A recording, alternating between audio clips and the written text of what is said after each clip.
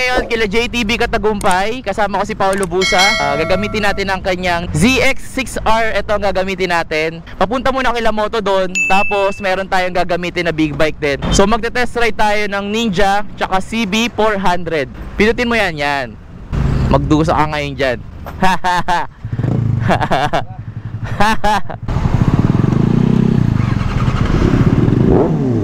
Sarap po. So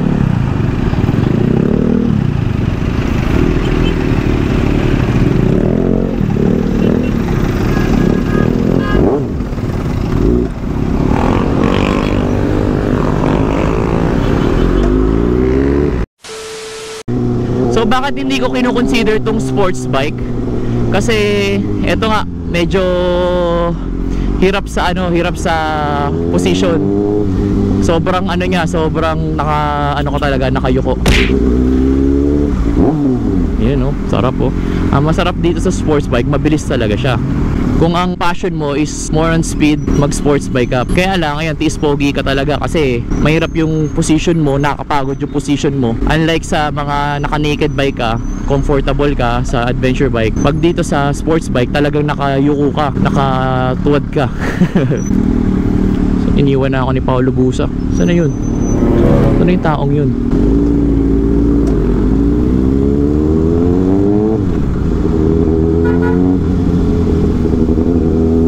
nakakapagod talaga yung posisyon na ano na ganito. Lalo na pag traffic tapos uh, long ride uh, with, pero pag sa expressway dito mo ma ano may enjoy yung sports bike. Mamaya itetesting natin yung CB400 ni Motodon test ride din natin yon ang displacement ata nito alam ko 636 eh. Yung engine niya 636 ang top speed nito hindi ko alam ang top speed nito kasi hindi ko pa natatry sa expressway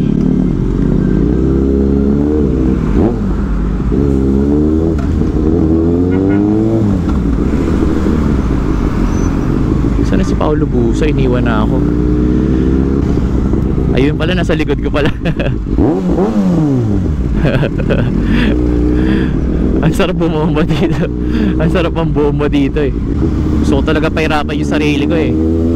Alam kong traffic dito sa Las Piñas hanggang Cavite pahirapan ko talaga yung sarili ko. Ba't ba ako nakipagpalit kay Paolo Busa magdusa ka ngayon dyan. Sa kanya sarap-sarap ng buhay niya naka-scooter walang kahirap-hirap.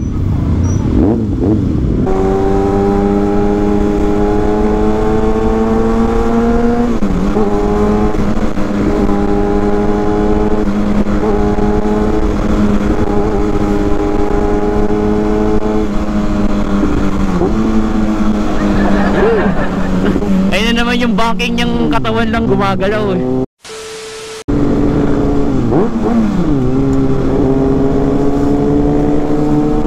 So paggamit ng busina Bomba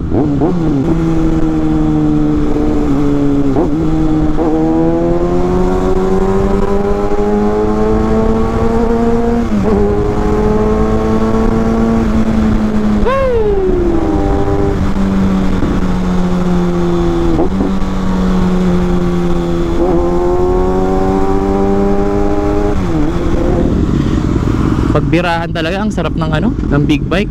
Ang problema nyo naman sa big bike pag ganito ang hirap i-maneuver ang hirap iliko. Yun no yun ang gamit ng busina narinig ka pa lang sa likod. Tingnan yung busina kasi ulit nito ng ano ng ZX naman. Tingnan yung busina. Ang cute Ayan, pag diniretso mo yan, Cavitex na yan. Papunta na ng mga Manila yan. Papunta ng mga MOA, papunta ng Pasay. Ito naman, papunta ng Cavite to. Ito, Bacoor. Shoutout sa naka-Evo, yun o. Evo helmet.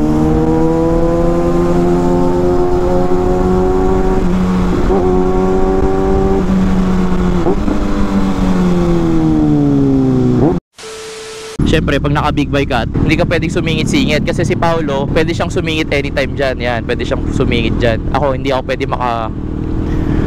Naka super view yan! Wala ka ba nun? Wala ka ng super view. Ayun, o, pwede siya sumingit tayo, hindi tayo makasingit. Eh no, ay nakagandahan pag manipis yung ano mo at hindi ka naka big bike. Ito kasi nakakatakot isingit to eh. Ang hirap i ano maneuver, maneuver. Maneuver ba tawag doon? Maneuver. Ganun din kasi kung sakaling ah, singit-singit ka, nakakalusot ka nga, nakakalusot ka sa mga traffic, pero pagdating naman sa stretch or sa freeway, iwan ka naman, ganun din. Iniwan na tayo ni Pao, ay no, doon na siya sa dulo. oh. Hirap sumingit nakakatakot. Yung top speed hindi natin hindi ko alam kung paano tayo makapag top speed dito. Kasi itong Emilio Aguinaldo Highway is napaka traffic Tsaka ang tip din na nalaman ko rin sa mga big bike riders or big bike users sa mga naka sports bike para hindi mangalay yung kamay mo. Kasi usually nakadanta yung kamay mo dito mabigat yung kamay mo or katawan mo. Ang gawin mo is yung paa mo etong legs mo ibitin mo dun sa tangke mismo para hindi magbigay ng weight dun sa ano hindi ka nakadantay sa dito sa handle handlebar mo or sa grip mo. So parang yakap-yakap mo lang siya tapos ang naka ang nagbabalanse dito is eto yung ano mo yung legs mo. Eh, sa mga bago lang eh, sa mga bagong mga riders ako bago lang din ako, tinuro lang din sa akin yun. So dagdag kaalaman lang. Para hindi kayo mga alay sa sports bike. Kasi sa sports bike yung kamay nyo naka ano eh nakadantay dito sa handlebar. Kasi naka ano ko nakahiga ka nakaliyad ka. Grabe usok na ito. Nakakapasa pa sa emission yung mga ganon.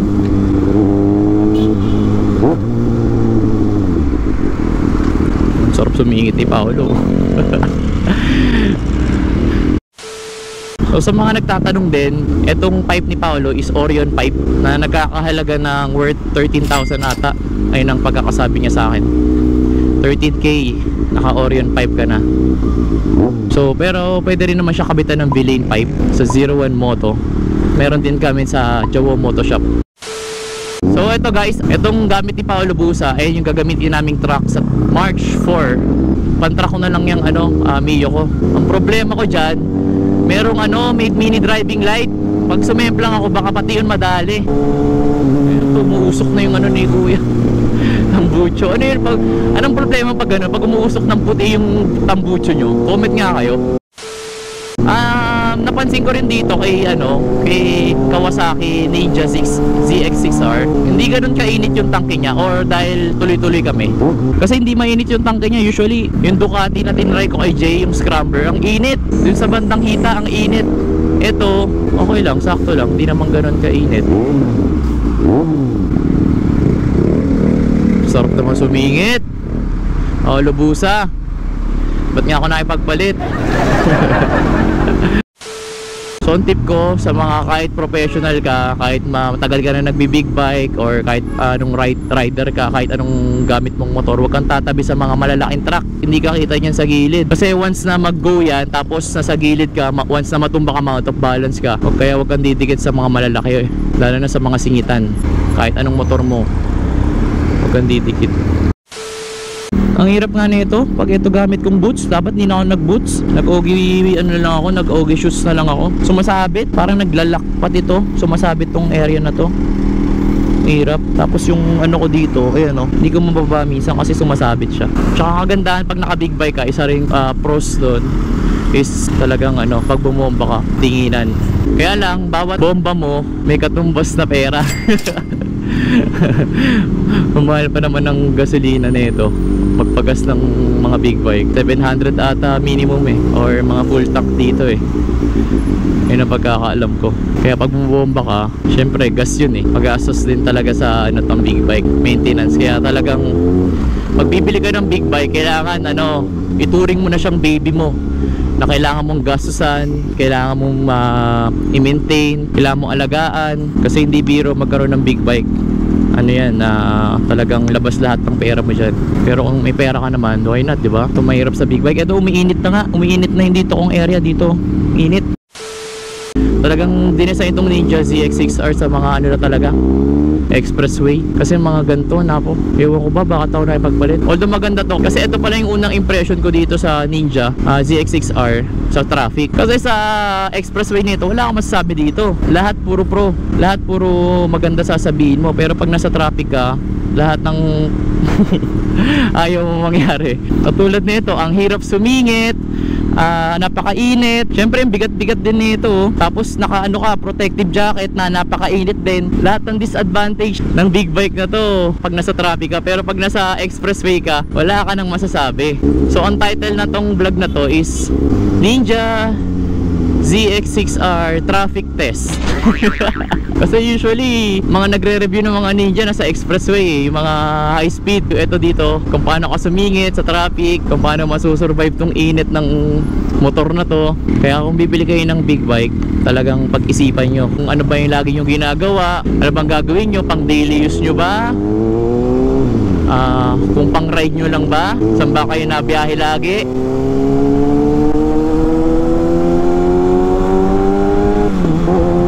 Ito masarap. Gantong stretch.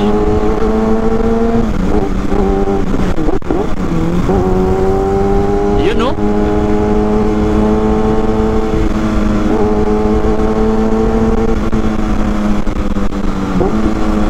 Woo!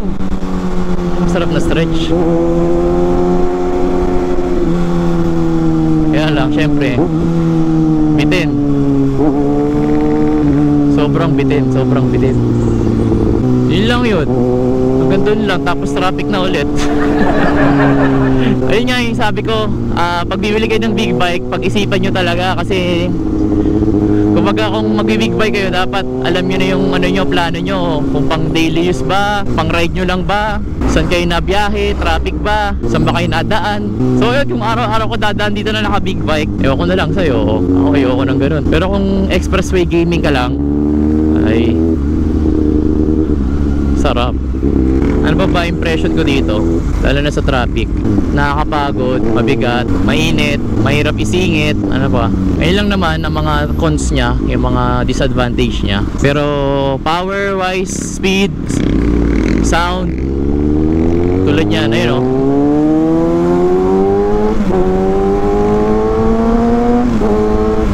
Ayun ang masarap.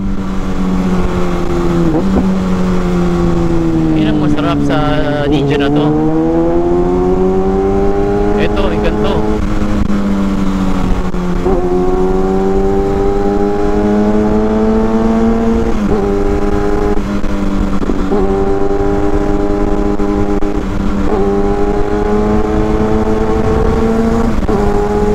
Yun! Woo! Hindi masarap dito. Hindi masarap ganon. Ayun ang ano, positive side ng ZX6R na to. Itong big bike na to.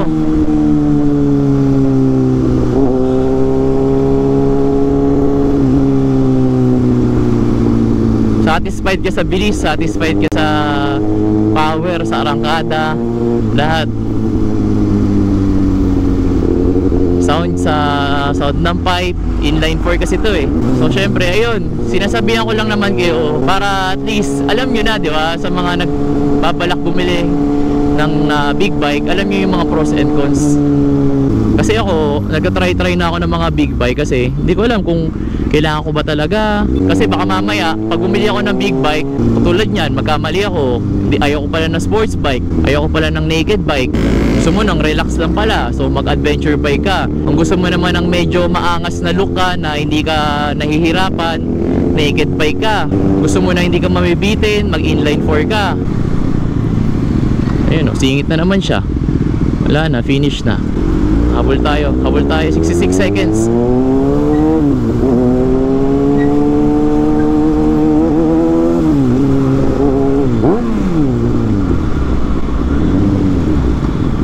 Pero sabi ko nga sa inyo, kung mayaman naman kayo, may pambili kayo ng maraming ah, motor at ah, may pambili kayo ng big bike, why not? Hindi kayo magsisisi dito sa Ninja ZX.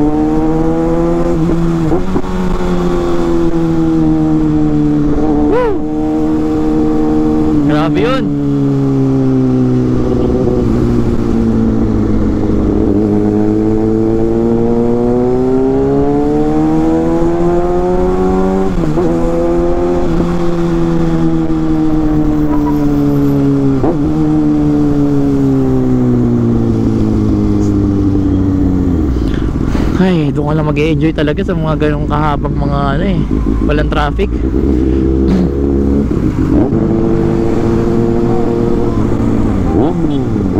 Eh, bomba daw tayo. Pinapabomba tayo ni Sir eh. Nakakatawa yung gano'n no, yung simpleng kaligayahan lang. Na ano mo, na gusto mo yung mga ganong tunog, gantong tunog, inline 4 na tunog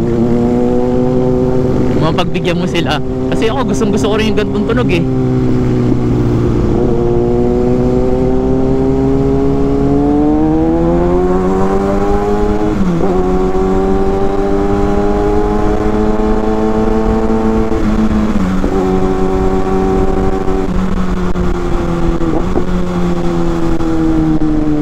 Titignan tayo ni Kuya, oh. inaabangan tayo. Gusto niya talaga yung uh, manupitan tunog eh. Oh.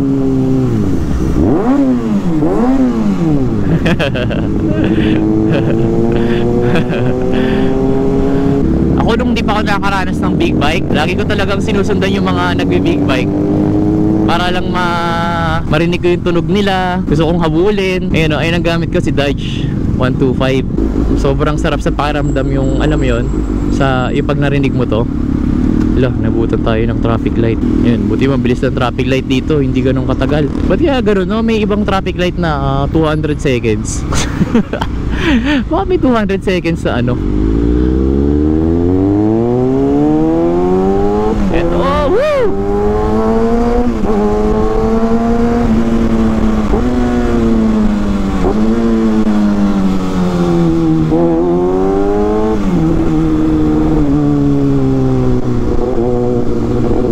Mukhang uulan pa. Oh my goodness. Mukhang uulan, my god. Oh no.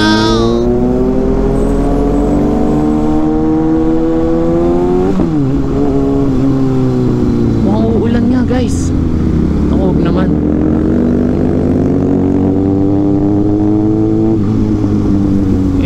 Ito yung pinakakalaban ng mga riders. Mapa big bike, mapa underbone, scooter, kahit ano. Pag umulan is kasi una-una basa, tapos madulas, tapos syempre mababasa yung ano mo, mababasa ka. Ang hirap mag-vlog nito pag ganito. Hindi naman sana umulan. Okay pa yung ganito eh, kaya pa ng konti eh.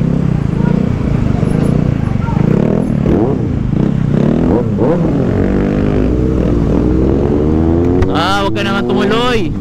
Mag-ride pa kami.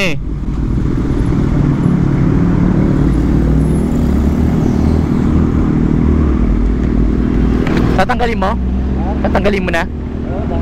So, tanggalin ko muna tong camera natin. Baka mabasa, lalo tayong hindi makapag-upload. Tanggalin muna natin. So, takpa ko muna tapos balita ko na lang kayo pag nandun na tayo. Kila moto doon. So ayun guys, ah, dito na kami. Biglang uminit to kita nyo. Ah, kasama ko ulit si Moto Don. Ayan.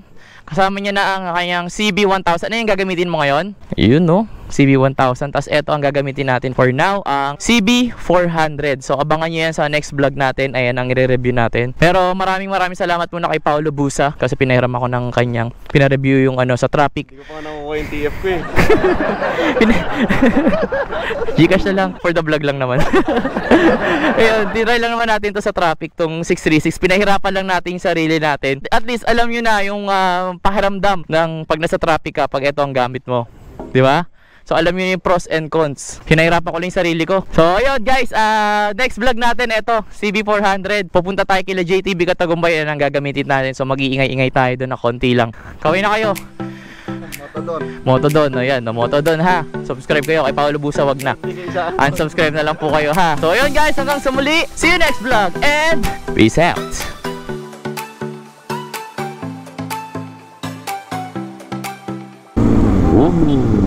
Eh, bomba daw tayo.